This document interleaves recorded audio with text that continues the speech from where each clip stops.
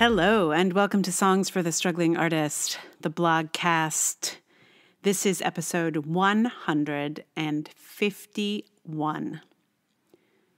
And for today's episode, I'm going to do something that I don't usually do. Um, I blogcast pretty much every post over on the blog, except for uh, my my series of rejections. And the reason I don't podcast those is that they're not they're not usually stellar writing or that exciting. Um, I feel like if you're going to do me the honor of listening, you, you, I should give you the best. And the rejections are really there because um, they were suggested by one of my patrons on Patreon when I was trying to figure out how to like work up the will to continue to apply for things when I knew I was going to be rejected over and over and over and over and over again, and that it was painful, etc. Anyway, so her her idea was that if I wrote something um, every time I got a rejection, that way my patrons would pay me every time I got a rejection, uh, because that's the way my Patreon works. It works on a pay per post situation. So every time I make a post on my blog, my patrons uh, pay for that po- post. And so she suggested I do that for rejections, which is how I get paid to get rejected for stuff. Which is why I don't post the rejections on the podcast for the most part until today. Today, um, I thought I would share this one with you because a lot of people uh, commented on it and seemed to be moved by it, so I thought you might want to hear it. Here it is Medusa long shot rocket rejection. I started working on my Medusa play sometime around when I started my theater company, which was close to 18 years ago. I abandoned the play after doing a reading of it, but then picked it back up a few years ago when an actor, who'd read one of the parts that first time, asked after it. I don't know if it had been a full decade at that point, but the fact that it had stuck with him after so long made me feel like it was worth grappling with. After much wrestling, I got the play into shape and did a reading in Brooklyn, and after it, I felt like I still wasn't sure if it was worth anything. One of my listeners pointed out that I might not really know what was actually there until I had the exact right actors. He suggested I think big. I knew who I needed. As the person who gave the single best performance I have ever seen, I knew that hearing her read it would tell me everything I needed to know. I also knew that in order to have that happen, I needed to make the play good enough for her. I imagined her reading it as I was writing, and the play got better. I did another reading in Queens with a game group of lovely actors, and I got even closer to what I thought the play wanted to be. All along, I was thinking of this sort of lodestar of a performer and how to get it to her, how to connect with her, how to strategize for this play's future. As time went by, the play was selected as a semifinalist for the O'Neill National Playwrights Conference, but went no further. All of my attempts to make a connection with my Medusa lodestar failed.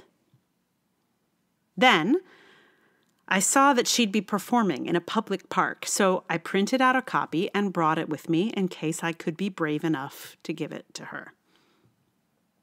I was. I was brave enough, and it was mortifying. Completely and totally mortifying. I don't recommend this sort of experience to anyone. Even though she wouldn't take the stack of paper in the moment, she told me to send it to her agent.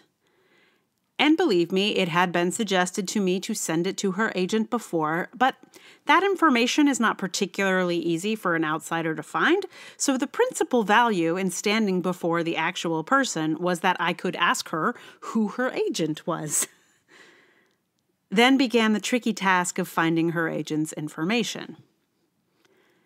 You realize when diving into this sort of world that so much of it is designed to intimidate and keep you out. The world of agents is built to make it difficult to find them. There are services you can pay to simply get an email. But with the support of a clever friend, I finally got to the agent. Also, with a lot of coaching from my clever friend, I did some finely crafted emailing to just get this play to the woman who had been its muse. After about a week of back and forth, it was, in fact, sent to her. Just getting that far felt like a great leap. It wasn't just the labor of the week to get it to her, but the years of putting it on my list to figure out, and all the attempts before. I launched the rocket into space. Within days, the rocket fell to Earth as I heard back that the play was not for her. Strangely, given how intimidating the world around agents is, the rejection was one of the best I've received. It was succinct, clear, and gentle. I wonder if agents learn that skill because they never really want to give anyone a hard no. What if Julie Taymor suddenly decided to put my Medusa on at the National Theater with a million dollar salary? Would my muse be interested then? She might. Or at least there might be another conversation to be had. So weirdly, I find myself wishing other rejectors could be more like an actor's agent. Reject us like you might have to make a million dollar deal with us next time, because you just never know. Meanwhile, here I am, watching my last real hope for this play float away. I know it makes no sense to set a bubble of hope on an actor's interest, but it was literally the only idea I had for the future of this play. I can't produce it myself. It's too big for the resources I can gather. It's not the kind of show you can do at your local community playhouse. So, this particular rejection hit me hard. Even though I knew it was a long shot, it was the longest shot. And it's going to take some time to gather the strength to build another rocket or even just a wagon. It's going to take some time to reassemble some hope. Maybe it'll be another 10 years. Or maybe never at all.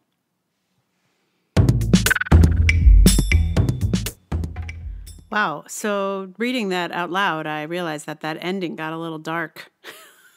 I'm gonna edit. I'm gonna edit that those last couple of lines uh, in the blog, so they're not quite so bleak.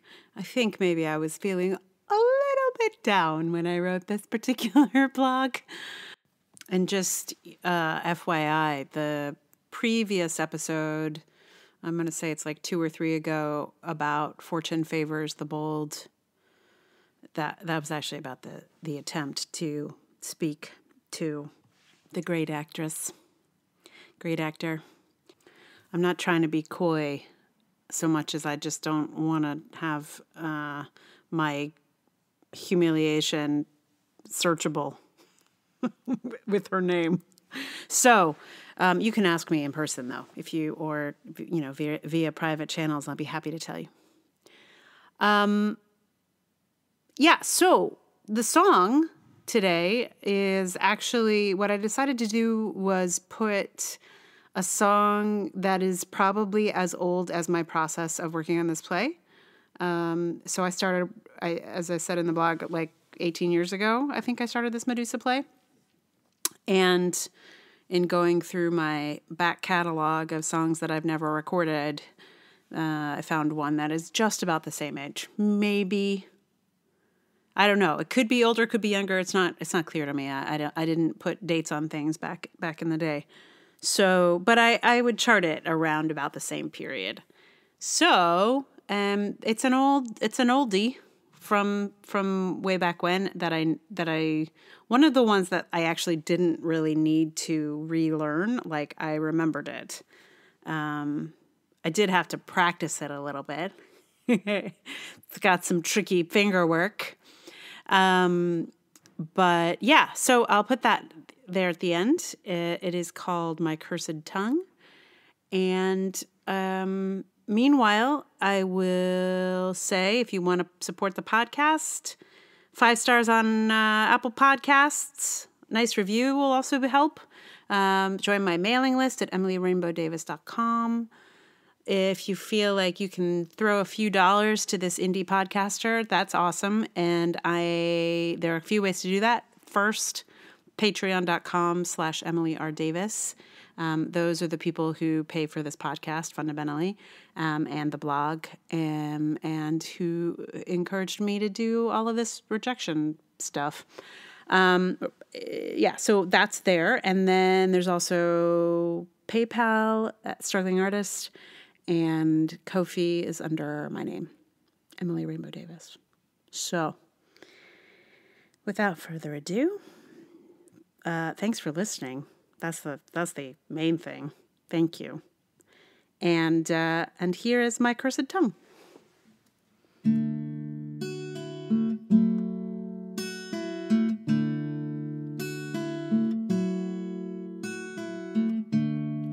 I don't know why I can't learn my lesson. I don't know why I can't hold my peace. I don't guessing.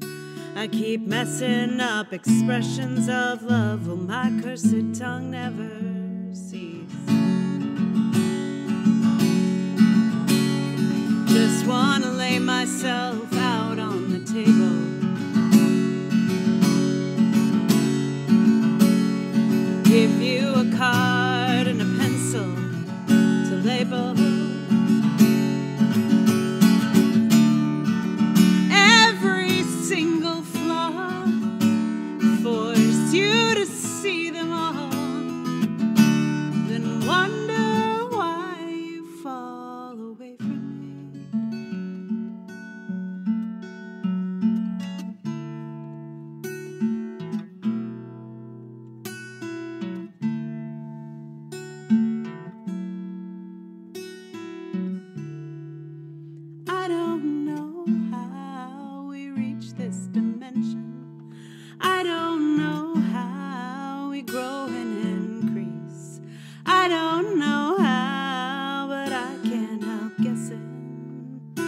I keep messing up expressions of love on my cursed tongue never cease. Just been stacking my stuff in the corner. Trying to get this old